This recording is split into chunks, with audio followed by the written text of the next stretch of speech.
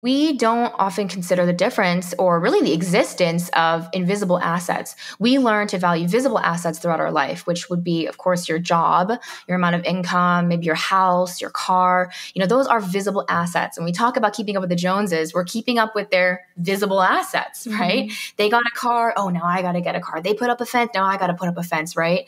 And we do that in so many funny, um, quirky ways. Yeah. But we are completely foregoing, in the name of those visible assets, our invisible ones, which are your peace, your happiness, your your sense of purpose, your creativity, your joy, your connection, your purpose.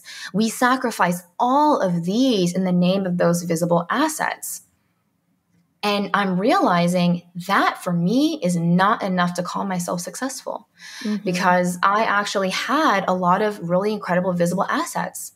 You know, someone might look at me from the outside and think, oh, she lives by the water in Vancouver, and she drives a nice car, and, you know, she sells these million dollar houses. And all of those were objectively true, but I wasn't successful at all. Yeah, not on the inside, not, at least. Yeah. yeah. And true success is when the inside matches yeah, the outside. Exactly. Exactly. And and actually when the inside matches the outside, that's when you start manifesting like crazy. Mm-hmm. What takes so long is fighting through and ignoring the inside and trying to go from the outside in. Along that vein, I want to talk to you about manifestation because a lot of people, when they talk about manifesting, they talk about like the physical things first because people usually want to manifest physical things. So, yeah. Do you advise starting with that and then going into, or like, what is your thought?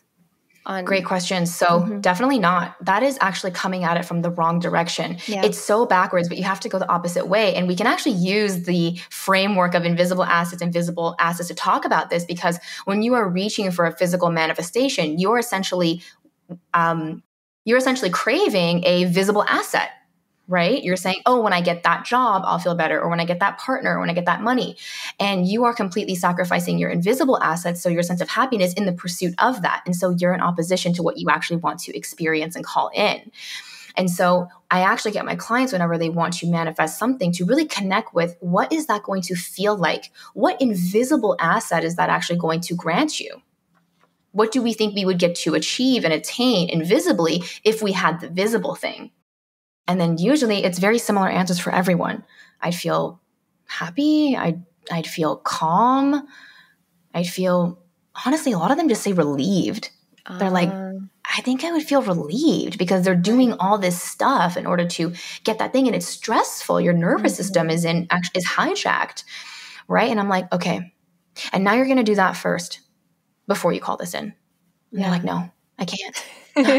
I want it first, right? Yeah, yeah. And so if we are still wanting something so badly, we are in lack. We're essentially saying, I don't have it and I feel terrible and I won't feel good until I have it.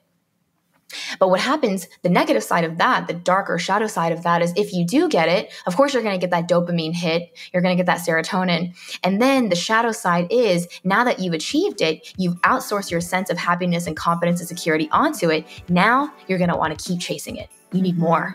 Yeah. And so it's not enough actually to reach that financial goal you had or, you know, that career. There's always now a next goal and a next one and it never yes. ends.